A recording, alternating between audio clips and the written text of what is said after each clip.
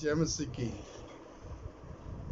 मैं प्रभु का दास आपका भाई Baldev Santu hope in Christ YouTube channel में आपका बहुत बहुत स्वागत करता हूँ। जैसे पिछले दिनों में हमने आ, अलग अलग दिनों के बारे में बात की थी। जैसे मैंने बताया था कि हमारे पूरे आ, साल भर में कई प्रकार के दिनों को हम सेलिब्रेट करते हैं। और लास्ट टाइम जो था, हमने नर्सिस डे को सेलिब्रेट किया था उससे पीछे जाए तो हमने मदर्स डे सेलिब्रेट किया था, फिर ईस्टर डे सेलिब्रेट किया था, उससे और पीछे जाते हैं तो हम कई और पर्वों को मनाते हैं, जिसमें क्रिसमस डे भी आता है। आज जो मैं परमेश्वर का वचन लेके आया हूँ, प्रभु यीशु मसीह के जीवन के ऊपर एक बार फिर आप सबसे बात करने के लिए प्रभु यीशु मसीह के जीवन के ऊपर जब हम विचार करते हैं, इसको हम चार आश्चर्य कर्मों में देख सकते हैं। जो अद्भुत काम जो है, चार प्रभु यीशु मसीह का जीवन, चार अद्भुत जो है, मौजे कहा जा सकता है। पहला, जब वो एक बालक के रूप में इस पृथ्वी पर आए और दूसरा, जब मुर्दों में इसे जी उठे, जिसमें उसने शैतान, कबर और मृत्यु के डंग को तोड़ा, मृत्यु के ऊपर विजय को प्राप्त किया। और तीसरा जो है, वो ये है कि जब वो सदे इस पृथ्वी पर से स्वर्ग में उठा लिए गए और बाप के दाहिने हाथ जो है, बैठे हैं। और चौथा फिर वो फिर आएँगे। जिस रीति से हमने, या प्रभु के उन दासों ने उसको इस स्वर्ग से पे जाते हुए, इस पृथ्वी पर से स्वर्ग पे उठा लिए हुए, जाते हुए देखा जैसे स्वर्गदूतों ने कहा था, उसी प्रकार से एक बार फिर आएगा। और उस पर पूरा विश्व देखेगा और अपने स्वर्गदूतों के साथ, अपनी महिमा के साथ जिसको बोलते हैं, गाजे बाजे के साथ जो है वो आएगा, आकर के न्याय करेगा। आज जो हम, जो है प्रभु यीशु मसीह के जीवन का जो तीसरा महत्वपूर्ण मौजे के रूप में जिसको मैंने अभी बोला है, उसको, उसके ऊपर हम चर्चा करेंगे, जिसको असेंशन डे कहा जाता है।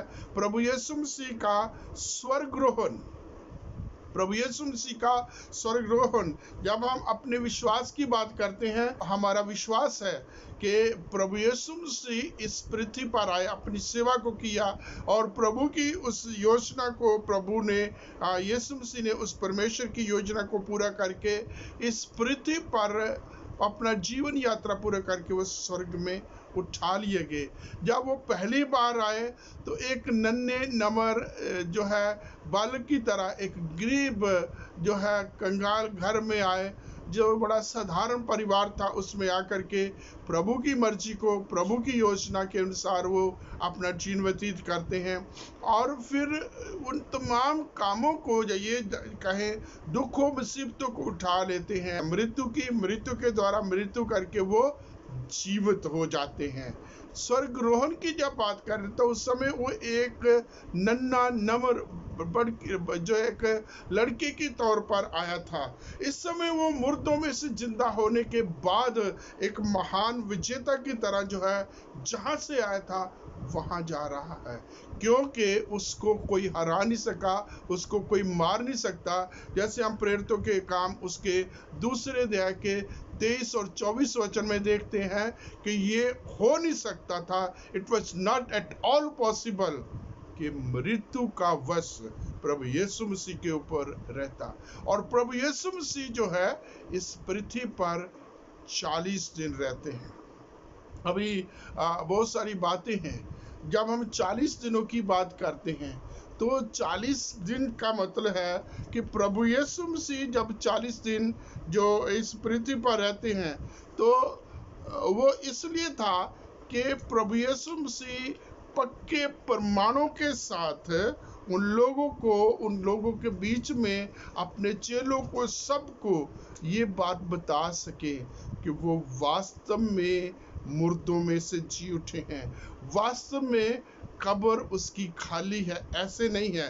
जैसे प्रभु यीशु मसीह के जी उठने से पहले आ, वो जो याजक थे महायाजक थे प्रभु यीशु मसीह के विरोधी थे जिन्होंने प्रभु यीशु मसीह को क्रूस के ऊपर उठाया था चढ़ाया था वो प्रभु यीशु मसीह के बारे में पिलातूस के पास वो गए। प्रभु यीशु मसीह की मृत्यु के बाद उसके गाड़े जाने पर वो गए कहते इसने पहले से कह रखा था कि वह तीसरे दिन मुर्दों में से जी उठा। कहीं ऐसा ना हो हमें शक है कहीं ऐसा ना हो कि उसके चेले आधी रात के समय आए और उसकी देह को ले जाएँ। और एक और यहाँ जो है, भ्रम फैल जाए। इसलिए उन्होंने पहरेदारों को बुलाया और उन्होंने लगातार जो है, प्रभु यीशु मसीह के जी उठने तक तीन दिन लगातार जो है, वो पैरा देते रहे। उनके होते हुए सामर्थ के साथ प्रभु यीशु मसीह मुर्दों में से जी उठे हैं। इस बार प्रभु यीशु मसीह उनको कोई भी, किसी प्रकार की भी कोई गुंजाइश नहीं देना चाहते, रखना चाहते थे। प्रभु यीशु मसीह पूरे प्रमाणों के साथ ये साबित करना चाहते तो मुर्दों में से जी उठे हैं। एक दिन नहीं, एक हफ़्ता नहीं, दो हफ़्ते नहीं, एक महीना नहीं, पूरे चालीस दिन प्रभु यीशु मसीह उनके बीच में रहे। समय समय पर उनको मिले और प्रभु यीशु मसीह उनको स्वर्गीय राज की बातें सिखाते रहे। जो प्रभु यीशु मसीह ने उनको बातें सिखाई थी उनको प्रभु यीशु मसीह और पक्का करते रहे। और फिर हम देखते प्रभु यीशु मसीह चालीस दिन इसलिए इस पृथ्वी पर रहे कि अभी तक वो चेलों को पूरा देखने चाहते थे चेलों को पर, पर, परखना भी चाहते थे कि क्या वो तैयार हो चुके हैं या नहीं, क्या उनका भय, खौफ, उनका डर जो है खत्म हुआ है या नहीं हुआ? क्योंकि इससे पहले प्रभु यीशु मसीह की गवाही देने के लिए वो डर गए थे। प्रभु यीशु मसीह के साथ खड़ा होने के लिए वो डरे हुए थे, क्योंकि वचन में लिखा है, यहूदा के ने जब प्रभु यीशु मसीह को पकड़ा प्रभु यीशु मसीह के पकड़े जाने के बाद सारे के सारे सारे के सारे चेले जो है प्रभु को छोड़ करके चले जाते हैं। उससे पहले हम देखते हैं तो एक जन भी प्रभु के साथ प्रार्थना करने वाला नहीं था। और जब प्रभु यीशु मसीह पकड़ा जाता, सारे भाग जाते हैं पत्र से हिम्मत करता है, और उस जगह पर जहाँ प्रभु यीशु मसीह को ले जाया जाए, वहाँ तक पहुँचने की वो हिम्मत रखता है। और जब पहुँचा उस डेवड़ी में, उस जगह पर पहुँचा है, और जब प्रभु यीशु मसीह के बारे में जब बात हो रही है, इधर बाहर जब ये आग ताप रहे हैं, पत्रस को जब पहचाना जाता है, पत्रस को पूछा जाता है तो भी प्रभु यीशु मसीह के साथ है? तो प्रभु यीशु मसीह का वो इनकार देता है, कर देता है, एक बार नहीं, दो बार नहीं, बल्कि तीन बार इनकार करता है। प्रभु यीशु मसीह के मृत्यु के बाद वो डरे हुए हैं, भयभीत थे और वो अपना घर का द्वार बंद करके यहाँ चले थे। उस बालाखाना में वो बंद रहते थे, बिल्कुल एकदम से दुबके हुए थे। ये तमाम जो है चेलों के कॉन्फिडेंस को देखने के लिए, परखने के लिए, उनको डर, उनके भय को दूर करने के लिए प्रभु यीशु मसीह चालीस दिन उनके बीच में रखे। अब जब प्रभु ने उनको परख लिया है खास करके आप युना के इंजील में पढ़ेंगे, प्रभु यीशु मसीह जो है, अपने चेलों में से एक के साथ बात करते जो समान से, समान अर्थात पत्र से, उससे तीन बार पूछते हैं क्या तू मुझसे प्रेम करता है? और तीनों बार यही कहता हाँ प्रभु, तू जानता कि मैं तुझसे प्रेम करता हूँ। और प्रभु यीशु मसीह ने कहा, मेरी भेड़ों को चरा, मेरे मेनमुनों की रखवाली कर, मेरे भेड़ों को, की चरवाही कर। और जब इस प्रकार से उनका जो है, हर प्रकार से कॉन्फिडेंस को देखते हैं प्रभु यीशु मसीह, उनकी तैयारी को देखते हैं और ये समझते हैं कि अब ये आगे सेवा के कार्य को अपने ऊपर अपने ऊपर वो ले सकते हैं। और इस प्रकार से हम देखते हैं कि प्रभु यीशु मसीह उनके सामने बाहर लूका का समाचार जब हम पढ़ते हैं तो उसमें लिखा है, वो उनको ले जाता है, उनसे बात करता है, उनको आशीष देता है और उनके सामने ही जो है, उठा लिया जाता है। प्रेरितों के काम में हमने पूछते हैं, पढ़ते हैं कि जब ये स्वर्ग की तरफ़ देख रहे हैं और दो स्वर्गदूत आकर के इनसे बात करते हैं, हे गलीली पुरुषो, तुम स्वर्ग की तरफ़ क्या देख रहे हो? और वो फिर कहते यही यीशु जिसको तुमने अपने सामने स्वर्ग में जाते हुए देखा है, एक बार फिर यही इसी रीति से स्वर्ग से नीचे उतरेगा। तो ये तब कुछ जो है बातें हैं जो प्रभु यीशु मसीह के बारे में हम चर्चा कर सकते हैं कि वो मुर्दों में से जी उठने के बाद 40 दिन अपने चेलों के साथ रहते हैं 40 दिन उनके साथ रह करके उनको सिखाते हैं, संगति करते हैं, प्रमाण देते हैं, औरों को भी प्रमाणित करना चाहते हैं। किसी प्रकार की कोई गुंजाइश नहीं छोड़ सकते कि कोई भी कोई भी ऐसी भ्रांति फैलाए। जैसे उस समय ट्राई की गई थी, जो है पैसे दे करके कि उसके चेले उसको उठा के लेके गए। जबकि पहरेदार थे, चेले डरे हुए थे बालाखाना के द्वार बंद किए हुए थे और उससे भी ज़्यादा वो टोटल भूल चुके थे। और वो उठा ले जाने की तो बात ही कुछ और थी। तो यहाँ चालीस दिन प्रभु यीशु मसीह उनके साथ रहने के लिए स्वर्ग में उठा लिए जाते हैं। और उठा लिए जाने के और भी कुछ मकसद हैं। हम देखते हैं कि प्रभु यीशु मसीह चालीस दिन यहाँ रहते हैं। तो भविष्य काल में, या ये कहा जाए ओल्ड टेस्टामेंट में, पुराने नियम में नए नियम में भविष्यवाणी की गई है। प्रभु यीशु मसीह भी जो है, खुद कई बार अपने जो है, इसके ऊपर बात करते यहाँ पुराने नियम में और नए नियम में जो है, प्रभु यीशु मसीह के भविष्यवाणी की बात हम पढ़ते हैं। हम देखते हैं, परमेश्वर का वचन प्रभु यीशु मसीह के स्वर्ग्रहण के बारे में भविष्यवाणी करता है। खास करके हम परमेश्वर का वचन पढ़ते हैं भजन संहिता उसका 68 अध्याय, उसका अड़सठ अध्याय और उसके 18 वचन में इस प्रकार से लिखा है, तू ऊँचे पर चढ़ा, तू लोगों को बंधुआई में ले गया। और फिर हम भजन संहिता 110 के एक वचन में पढ़ते हैं, मेरे प्रभु से यहोवा परमेश्वर की ये वाणी है कि तू मेरे दाहिनी ओर और बैठ जब तक मैं तेरे शत्रुओं को तेरे चरणों की चौकी ना कर दूँ। स्वर्गरोहण के पश्चात यीशु पिता के दाहिने हाथ बैठ गया। फिर हम लूका के इंजील में पढ़ते हैं, उसके नौवें अध्याय के इक्यावन वचन में, जब उसके स्वर्ग उठाए जाने के दिन पूरे हुए तो उसने यरूशलेम जाने का विचार दृढ़ किया। स्वर्गरोहण परमेश्वर की योजना में था। यूना छह बासठ में हम पढ़ते हैं, और यदि तुम मनुष्य के पुत्र को जहाँ वह पहले था, वहाँ ऊपर जाते देखोगे तो क्या होगा? फिर चौदहवें अध्याय के अट्ठाई वचन में परमेश्वर के वचन में प्रभु यीशु मसीह कहते हैं यूना चौदह उसके अट्ठाई वचन में, मैं जाता हूँ, मैं पिता के पास जाता हूँ क्योंकि पिता मुझसे बड़ा है। फिर यूहन्ना में हम पढ़ते हैं, यूहन्ना के बीसवें अध्याय में, यहाँ प्रभु यीशु मसीह ज़िंदा हो जाते हैं और प्रभु यीशु मसीह मरियम से बातचीत करते हैं।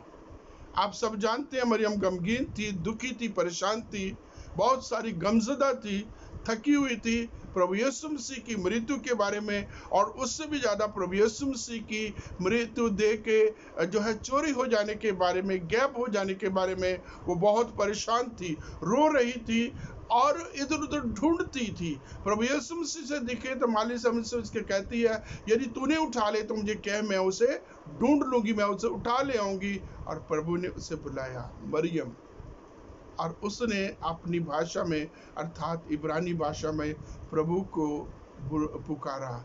रबूनी अर्थात, हे मेरे प्रभु। और इस प्रकार से हम देखते हैं, मरियम जो है, प्रभु की तरफ़ बढ़ती है, प्रभु के कदमों में जाकर के लिपटने का प्रयास करती है और प्रभु यीशु मसीह ने कहा, मुझे मत छू, मुझे मत छू, क्योंकि अभी तक मैं अपने पिता के पास स्वर्ग में नहीं गया। मैं अपने पिता के साथ अभी तक, अपने पिता के पास अभी तक ऊपर नहीं गया। और आगे प्रभु उनके, उसके संदेश देते हैं, जा जा करके मेरे भाइयों से कह कि मैं अपने परमेश्वर और तुम्हारे परमेश्वर, अपने पिता और तुम्हारे पिता के पास ऊपर स्वर्ग में जाता हूँ। और इस प्रकार से हम देखते हैं कि प्रभु यीशु मसीह अपने स्वर्ग जाने के बारे में जो है खुद भविष्यवाणी करते हैं। पहले से वो कह चुके हैं कि प्रभु यीशु मसीह किस प्रकार से स्वर्ग उठा लिए जाएँगे। और प्रेरितों के काम हम पहला अध्याय पढ़ते हैं। उसके जो है, पहले ग्यारह वचनों में प्रभु यीशु मसीह जो है, हम फिर से आराम करते हैं। यहाँ लूका जो है, जिसने प्रेरितों के काम को लिखा है, वो बयान करता है कि प्रभु यीशु मसीह स्वर्ग में उठाए जा रहे हैं। और चेले जो है, ऊपर स्वर्ग की ओर देखते हैं, दो स्वर्ग दुख आकर के उनको समझाते हैं कि यही यीशु जो स्वर्ग में उठा लिया गया है, इस रीति से ये नीचे आएगा। और वचन में लिखा है यीशु मसीह के चेले खुशी, आनंद के साथ जो है वापस आए। और जब वापस आते हैं, उसके बाद वो कभी भी डर के साथ नहीं बैठे, बल्कि वो आराधनालय में जा कर के आराधना करते थे। प्रभु की आराधना, प्रभु की सूची करते थे, परमेश्वर का धन्यवाद करते थे, स्तुति गान किया करते थे, और उस बाला खाना पे नहीं हटे। और क्योंकि प्रभु का वादा था कि जब तक तुम पवित्र आत्मा ना पाओ, तुम यरूशलेम में, अर्थात उसी बाला खाना में ठहरे रहना, और जब पवित्र आत्मा आएगा, तुम सामर्थ पाओगे और फिर मेरे गवाह हो गए यरूशलेम में, जो अपना घर है, सामरिया में जो पड़ोस है, यूदिया में जो अनजाति है, और पृथ्वी के कोने तक, अर्थात पूरे विश्व में, पूरे भूमंडल में, जैसे परमेश्वर का वचन कहता है कि जैसे समुद्र पृथ्वी से पानी से भरा हुआ है, वैसे ही परमेश्वर का वचन भी पृथ्वी पर इसी रीति से भर जाएगा। और हम देखते हैं प्रभु यीशु मसीह के चेले, प्रभु यीशु मसीह के चेलों में पतरस और सभी चेलों ने प्रभु का वचन सुनाया। और फिर आगे हम देखते हैं प्रभु यीशु मसीह के नए चेले ने, जो खुद क्लेम करते कि मैं मनुष्य की तरफ़ से नहीं, बल्कि परमेश्वर की तरफ़ से प्रेरित नियुक्त हुआ हूँ। प्रेरित पौलुस जो है, उसने हर जगह पर प्रभु के वचन को फैलाया। अन्य जातियों में, हाकिमों के सामने, ऊँचे पद वालों के सामने, राजाओं के सामने परमाणु के साथ अन्य जातियों के बीच में अलग अलग प्रकार के मूर्ति पूजा के देशों में मिशन की तीन यात्रा उसने पूरी करने के बाद परमेश्वर के पवित्र वचन को, प्रभु यीशु मसीह की गवाही को, प्रभु यीशु मसीह के ज़िंदा होकर के स्वर्ग रोहन को पूरी पृथ्वी में उसने फैला दिया। प्रभु यीशु मसीह का स्वर्ग रोहन क्यों ज़रूरी था? पहली चीज़ हम देखते हैं कि प्रभु यीशु मसीह खुद अपने चेलों को ये संदेश दिया था। उनको पहले से ये कह रखा था कि मेरा तुम्हारे लिए जाना बहुत ज़रूरी है। और पहली बात, प्रभु यीशु मसीह स्वर्ग रोहन क्यों जाते हैं? क्योंकि वो अपने चेलों के लिए या अपने लोगों के लिए जगह तैयार करना चाहते हैं। यही तो कहा। मैं जाता हूँ, जगह तैयार करता हूँ, ताकि वापस आऊँगा, तुमको अपने साथ ले जाऊँगा। ताकि जहाँ मैं रहूँ, वहाँ तुम भी मेरे साथ रह सको। और इस प्रकार से हम देखते हैं कि प्रभु यीशु मसीह जो है, चालीस दिन के बाद जो है, स्वर्ग में उठा ले जाते हैं। प्रभु यीशु मसीह ने एक और प्रतिज्ञा की थी, पहली जगह बात प्रतिज्ञा की थी कि मैं जगह तैयार कर रहा हूँ। दूसरी उसने कि मैं जाऊँगा और तुम्हें एक और सहायक भेजूँगा। जिसे हम ये बोलते हैं कि उससे एक जो है एक कंफर्टर एक शांति देने वाला, अगुवाही करने वाला हर जगह पर उनकी तरफ़ से बोलने वाला उनकी गवाही देने वाला अर्थात एक एडवोकेट एक व्यवचाई भेजूँगा पवित्र आत्मा सत्य का आत्मा जो उनको सारी बातें आने वाले सारे समय की सारी बातें बताएगा। और ये जब तक प्रभु यीशु से इस पृथ्वी पर से ऊपर नहीं उठाए जाते स्वर्ग में अपने ज, जो उस जगह पर नहीं जाते तो वो जगह नहीं तैयार करेंगे। और वो जो है, वादा किया हुआ पवित्र आत्मा, जब वो सहायक इनके पास नहीं आएगा। ये इस प्रकार से हम इसको लेते हैं कि जैसे कोई जो घर का मालिक है, अपने बच्चों को कुछ जो है, उनसे बातचीत करता है। और कुछ समय जो है अपनी जिम्मेवारी की वजह से इधर उधर जाने के लिए वो कहता है। और आगे उनको ये कि, ऐसे कहे कि मैं जाता हूँ, इतने दिन के लिए बाहर हूँ और मेरे पीछे तुम्हारे जो है अंकल तुम्हारे साथ रहेंगे। या तुम्हारे बड़े भाई जो हैं वो तुम्हारी अगुवाई करेंगे, तुम्हारे सब बातों में तुम्हें जो है, तुम्हारी जो है, रहनुमाई करेंगे, तुम्हारे सब काम करने में वो तुम्हारी सहायता करेंगे। इसी प्रकार से प्रभु यीशु मसीह का कहने का मतलब यही है कि वो स्वर्ग में जाता, वो तो चला जाएगा, वो दूसरा सहायक, दूसरा मसीह, अर्थात सत्य का आत्मा, पवित्रताई का आत्मा जो उनकी मदद करेगा, जो कमी, कमज़ोरी के समय में उनको सामर्थ्य देगा, सांत्वना देगा भूलने भूलने के समय उनको सब कुछ याद कराएगा, प्रभु यीशु मसीह की बातों को लेके आएगा, और जब उनको कोर्ट कचहरियों के सामने विपरीत परिस्थितियों का सामना करे, करना पड़ेगा तो उस समय वो पवित्र आत्मा उन विपरीत परिस्थितियों में उनके साथ रह करके उन लोगों को उनकी तरफ़ से वो जवाब देगा, और वो संसार को पाप, धार्मिकता और न्याय के लिए निरुत्तर कर देगा। फिर हम देखते हैं प्रभु यीशु मसीह का जो स्वर्ग रोहन है वो इसलिए भी है कि प्रभु यीशु मसीह इस पृथ्वी कर नहीं था। प्रभु यीशु मसीह ने अपने चेलों से भी कहा अपने बारे में कहे कि हम इस इस जो है आ, संसार के नहीं है। और प्रभु यीशु मसीह को भी अपने चेलों को ही प्रभु यीशु मसीह कहते हैं you are not of this world तुम इस संसार के नहीं हो। मैं एक बात यहाँ कहना चाहता हूँ कि we are in this world but we are not of the world हम संसार में हैं, परंतु संसार के नहीं है। प्रभु यीशु मसीह भी संसार का नहीं था। वो संसार में कुछ कार्य करने के लिए भेजा गया था, उसका घर स्वर्ग में था। उसका घर वो आदि से, अनादि से, शुरू से, आरंभ से, परमेश्वर के साथ था, सृष्टि के समय। उससे पहले अनादि काल से अनादि काल तक जो है, वो परमेश्वर से निकलता है। सृष्टि के समय परमेश्वर के साथ था। और हम और जगहों पर जो है, हम समय समय पर देखते हैं कि वो परमेश्वर के साथ था। इस समय देह धारण करने के द्वारा वो इस पृथ्वी पर आता है।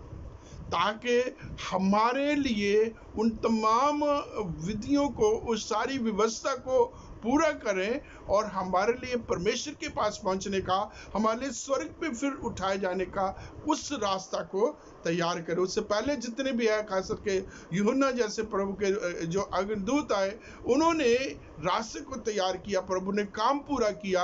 अब वो दूसरा काम करने के लिए जा रहे हैं, जगह तैयार कर रहे हैं।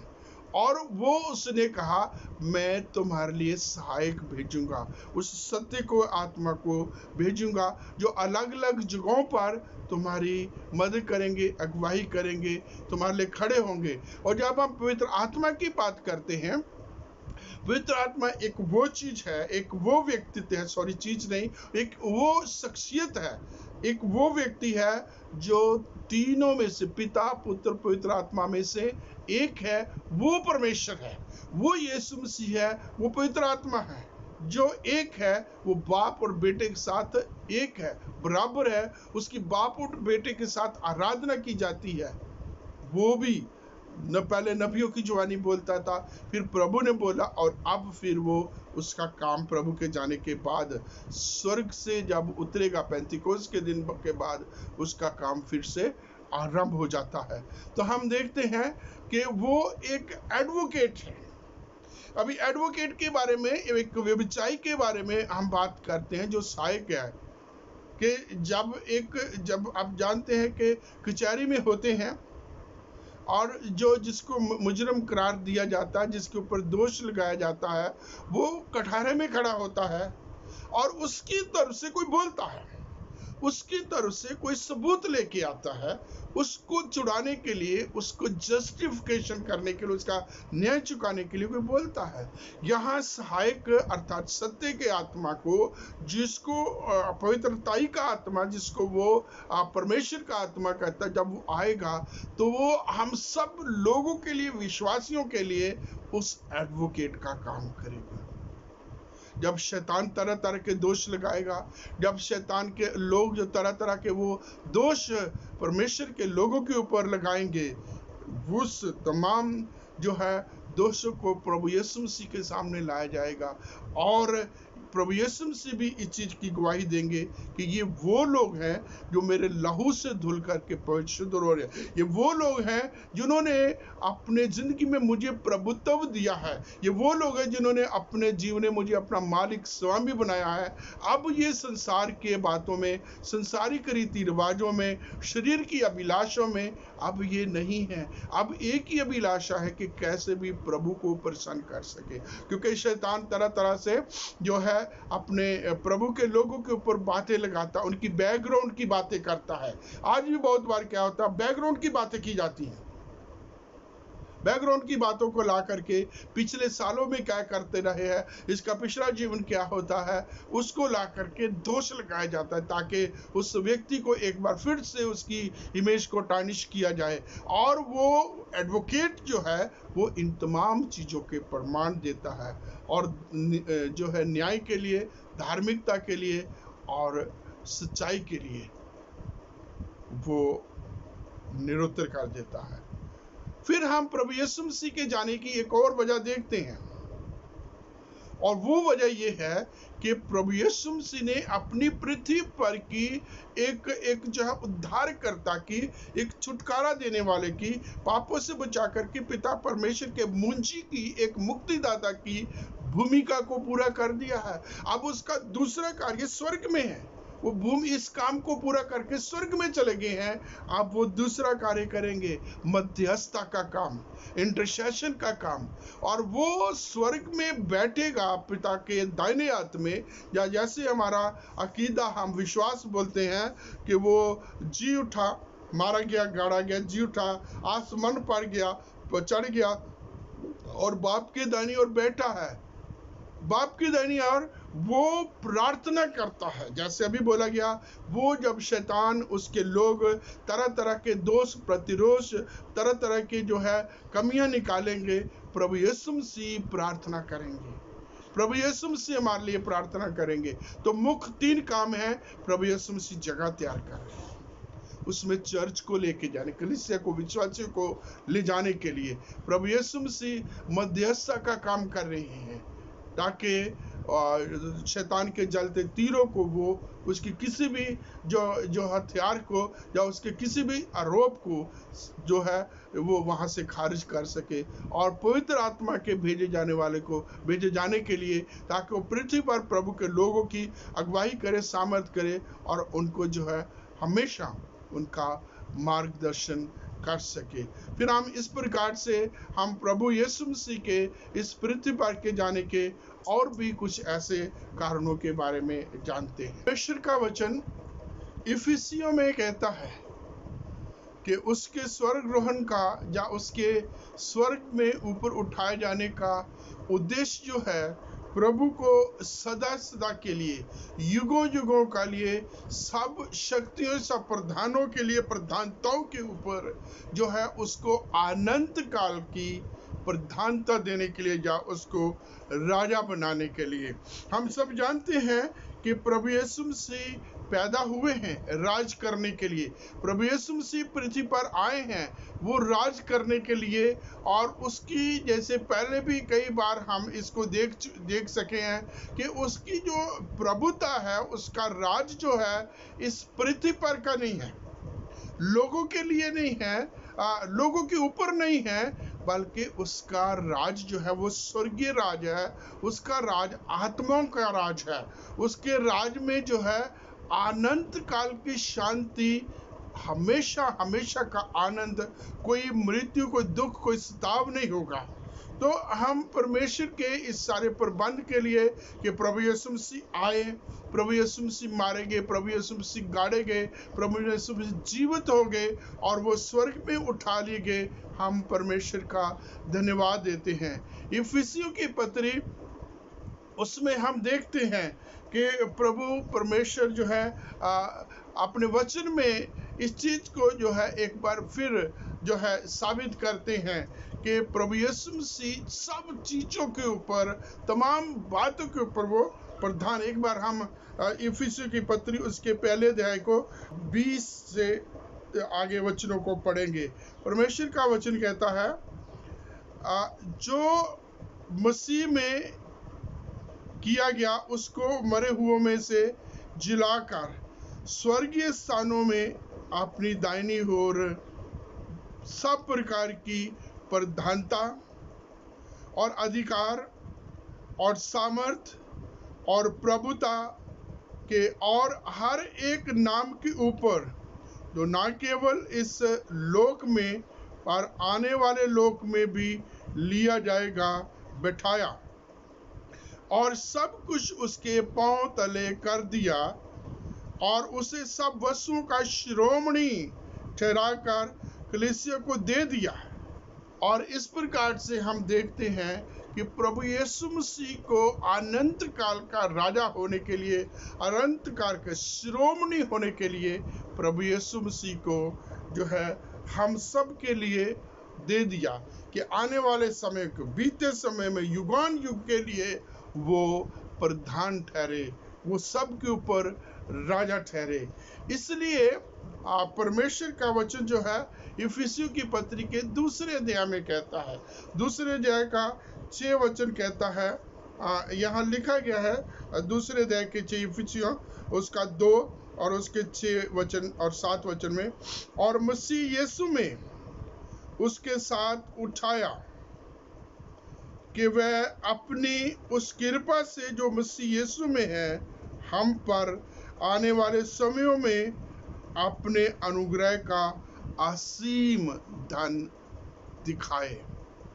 और इस प्रकार से जो है आने वाले समय के लिए जो है परमेश्वर की उस महिमा में, उस असीम धन में विश्वासियों को शामिल करने के लिए प्रभु यीशु मसीह का स्वर्गरोहण अनिवार्य था जैसे हम सब जानते हैं, प्रभु यीशु मसीह ने अपने चेलों से कहा था, जब यूना के सुसमाचार के चौदहवें अध्याय में प्रभु यीशु मसीह अपने चेलों को कहते हैं, मैं जाता हूँ। प्रभु यीशु मसीह उनको सांत्वना देते हैं, उनको बताते हैं, और जब चेले उदास हो जाते निराश से हो जाते चुप से हो जाते हैं, और परमेश्वर का वचन कहता प्रभु यीशु मसीह ने उनसे कहा, मेरा जाना तुम्हारे लिए अनिवार्य है, ज़रूरी है या ये कहा जाए कि प्रभु यीशु मसीह का स्वर्ग जाना स्वर्ग रोहन करना, उठा लिए जाना हम विश्वासियों के लिए, प्रभु के लोगों के लिए लाभ की बात है। बहुत ही हमारे फ़ायदे की बात है। जैसे हम अलग अलग जो है तरीके से वचनों में देख रहे हैं कि किस प्रकार प्रभु यीशु मसीह स्वर्ग में उठा लिए जाते हैं और स्वर्गीय स्थानों की प्रधानतों में हमें हिस्सेदार बनाते हैं। अभी ये दूसरे दह के छः और सात वचन में आप पढ़ते हैं कि उसको, जो हमें ले लिया, हमें स्वर्गीय स्थानों की सब प्रकार की आशीषों से परिपूर्ण किया और इसलिए भी प्रभु ने ये सब कुछ किया। परमेश्वर ने प्रभु यीशु मसीह का स्वर्गरोहण कि हम आने वाले समय में प्रभु के असीम महिमा में धन में हम उसके साथ हो सके। हाले परमेश्वर का धन्यवाद देते हैं। प्रभु की स्तुति, प्रभु की प्रशंसा करते हैं उसके सारे प्रबंध के लिए, हर इंतज़ाम के लिए जो परमेश्वर हम सब के लिए करता, हमारे लिए करता है, ताकि हम उस के द्वितीय आगमन के लिए अपने आप को तैयार करते रहें। फिर हम इसके आगे बढ़ते हैं तो परमेश्वर का वचन कहता है, प्रभु का स्वर्ग में जाना जो है हम सब के लिए एक अनुग्रह का द्वार, अनुग्रह का सिंहासन तैयार करता है। इब्रानियों की पत्री, उसके चौथे अध्याय में हम आते हैं और उसके चार वचन में हम देखेंगे, एक अध्याय के तीन वचन में हम देखेंगे और फिर हम जो है चार अध्याय के सोलह वचन में अलग अलग प्रकार से कैसे प्रभु हमें प्रभु यीशु मसीह के स्वर्गरोहण के उसके असेंशन के आ, आ, अलग अलग तरीके से हमें लाभान्वित करते हैं। क्या आशीष मिलती है प्रभु यीशु मसीह के स्वर्ग में ऊपर उठा लिए जाने के लिए? परमेश्वर का वचन हम पढ़ेंगे। इब्रानियों की पत्री चार अध्याय और उसका चौदह वचन इसलिए हमारा ऐसा बड़ा महायाजक है जो स्वर्गों से होकर अर्थात परमेश्वर का पुत्र यीशु, जो तो आओ हम अपने अंगीकार को दृढ़ता से थामे रहें, क्योंकि हमारा ऐसा महायाजक नहीं जो हमारी निर्बलताओं में हमारे साथ दुखी ना हो सके, वरन वह सब बातों में हमारे समान परखा तो गया तो भी निष्पाप निकला। इसलिए आओ हम अनुग्रह के सिंहासन के निकट हिया बंद कर चले कि हम पर दया हो और वह अनुग्रह पाए जो आवश्यकता के समय हमारी सहायता करे। हम परमेश्वर का धन्यवाद देते हैं। प्रभु यीशु मसीह के अशंसन के लिए, प्रभु यीशु मसीह के स्वर्गरोहन के लिए कि प्रभु यीशु मसीह के स्वर्गरोहन के द्वारा परमेश्वर हमें वो तमाम आशीष देता है। हमें वो जो है, इस समय वचन में लिखा, वो हमें हियाव देता है। हियाव से परमेश्वर के जो है सिंहासन के पास जाने की अप्रोच करने के लिए एक्सेस करने के लिए प्रभु का वचन हमें उत्साहित करता है। क्योंकि वो कहता है, हमारा ऐसा महायाजक नहीं है। बल्कि वो एक ऐसा महाजाजक है जो हमारी तरह परखा गया, हमारी तरह उसकी भी परीक्षा हुई, हमारी तरह भी उसने दुख सुख भेगे, परंतु वो निष्पाप निकला। किसी भी प्रकार की परीक्षा में वो गिरा नहीं, बल्कि परीक्षाओं के ऊपर फतेह पाई। और एक जगह पर हम ये भी पढ़ते हैं कि वो उनकी भी जिनकी परीक्षा होती है सहायता कर सकता है। इसलिए आइए हम परमेश्वर का धन्यवाद के प्रभु की स्तुति, प्रभु की सब प्रशंसा करें। इब्रानियों की पत्री में से हम जो है उसके तीसरे अध्याय का, पहले अध्याय का तीसरा वचन देखिए। बहुत ही आनंद आता है इन पवित्र वचनों को पढ़ने के द्वारा।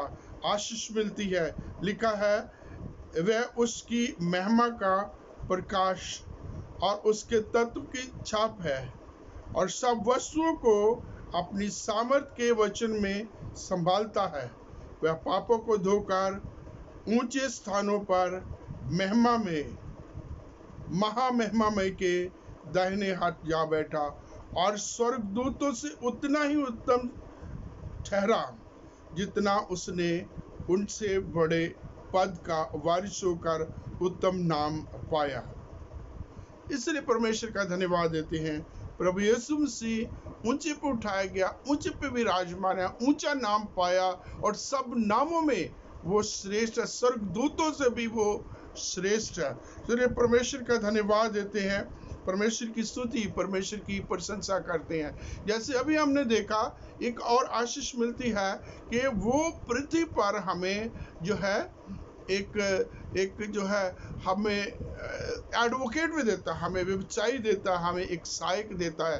जैसे हम कितनी बार इसको देख चुके हैं यूना की जो है सुसमाचार में कि प्रभु ने एक प्रतिज्ञा की है कि मैं जाऊँगा, तुम्हारे लिए एक सहायक भेजूँगा। इसके ऊपर मैं ज़्यादा नहीं बोलूँगा क्योंकि पहले भी बोल चुका है, लेकिन परमेश्वर का धन्यवाद देता हूँ कि वो हमारे लिए सहायक भेजता है, हमारे लिए मददगार भेजता है ताकि हर समय में, हर हालात में प्रभु जो है हमारी मदद कर सके, प्रभु हमारी सहायता कर सके।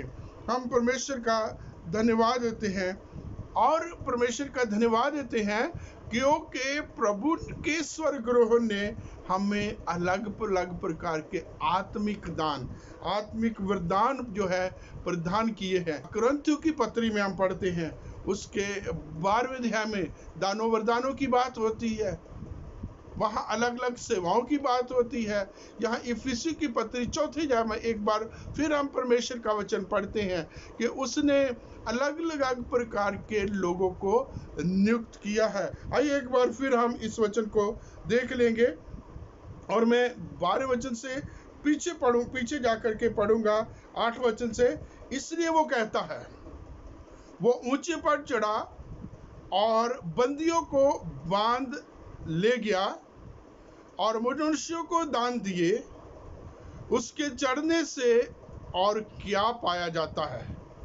केवल ये कि वह पृथ्वी की निचली जगहों में उतरा भी था और जो उतर गया वही, जो सारे आकाश के ऊपर चढ़ भी गया। कि सब कुछ परिपूर्ण करे और उसने कुछ को प्रेरित नियुक्त करके और कुछ को भविष्यवक्ता नियुक्त करके और कुछ को सुसमाचार सुनाने वाले नियुक्त करके और कुछ को रखवाले और उपदेशक नियुक्त करके दे दिया, जिससे पवित्र लोग सिद्ध हो जाएँ और सेवा का काम किया जाए और मसीह की दे उन्नति पाए। परमेश्वर का धन्यवाद देते हैं प्रभु के प्रबंध के लिए, जो प्रभु यीशु मसीह के पुनरुत्थान के द्वारा प्रभु करते हैं। और फिर इस समय मैं आखिरी बात आप लोगों के बीच में प्रभु यीशु मसीह के पुनरुत्थान की करना चाहूँगा। वो ये है कि प्रभु यीशु मसीह का पुनरुत्थान हमें प्रभु यीशु मसीह के द्वितीय आगमन के लिए तैयार करता है। या ये कहा जाए कि प्रभु का जो है आगमन, हमें प्रभु के आने की प्रतीक्षा की लालसा प्रदान करता है। जैसे कि हम देखते हैं प्रेरितों के काम, खास करके उसके पहले अध्याय में और प्रभु के वचन में हमने पढ़ा है। पहला अध्याय, ग्यारह वचन, कि जब प्रभु यीशु मसीह स्वर्ग उठा लिए जाते हैं और प्रभु यीशु मसीह के चेले आकाश की तरफ़ देख रहे हैं। प्रभु यीशु मसीह के जाते हुए वचन में लिखा है, वो उठा लिया गया, उनसे बात कर रहा, उनको आशीर्वाद दिया, आशीष दी और उनसे अलग किया गया, उठा लिया गया, बादल ने उसको ढांप लिया। और प्रभु के चेले उसको देख नहीं पा रहे और वो ओझल हो गया छिप गया और वो अभी भी कहाँ छुपा, उस जगह की तरफ़ टिक टिकी लगा करके देख रहे हैं और ऐसे में स्वर्गदूत उनके पास आते हैं, उनसे बात करते हैं कि, हे गलीली पुरुषो, तुम आकाश की तरफ़ क्या देख रहे हो? यही यीशु जो तुम्हारे सामने जिस रीति से उठाया गया है, उसी रीति से वो स्वर्ग में के से नीचे आएगा। और मेरे प्रिय प्रभु यीशु मसीह का जैसे जो है जो जो अभी प्रभु यीशु मसीह स्वर्ग में गए हैं, बहुत सारे लोगों को 40 दिन तक जो है मिले, काम किया, उनके बीच में उनको याद दिलाया, उनको सामर्थ दी, उनको तैयार किया, और जब सही समय हुआ तो प्रभु यीशु मसीह उनको तैयार करके, उनको जो है कमीशन दे करके खुद अपनी जो है स्वर्गीय सेवा, जो याजकीय सेवा, जो इस समय वो जो है मध्यस्थता का काम कर रहा, उसको करने के लिए चले जाते हैं। और जो है, ऐसे वचन में लिखा है, एक हम गीत भी गाते हैं कि नीले आसमा के पार जाएँगे, मेरा यीशु रहता यहाँ। हम मिलेंगे बादलों पर, देखेगा सारा जमा। हाल उस समय सारा जहान देखेगा या प्रभु यीशु मसीह का द्वितीय आगमन होगा, सारा जहान देखेगा। छाती पीटेंगे, खुशी मनाएँगे, आनंद मनाएँगे, क्योंकि वचन में लिखा है दोनों प्रकार के मुर्दे जी उठेंगे, जिन्होंने अच्छे काम किए हैं और जिन्होंने अच्छे काम नहीं किए, अच्छे काम अर्थात जिन्होंने अपनी ज़िंदगी में प्रभु को अपना प्रभु माना है।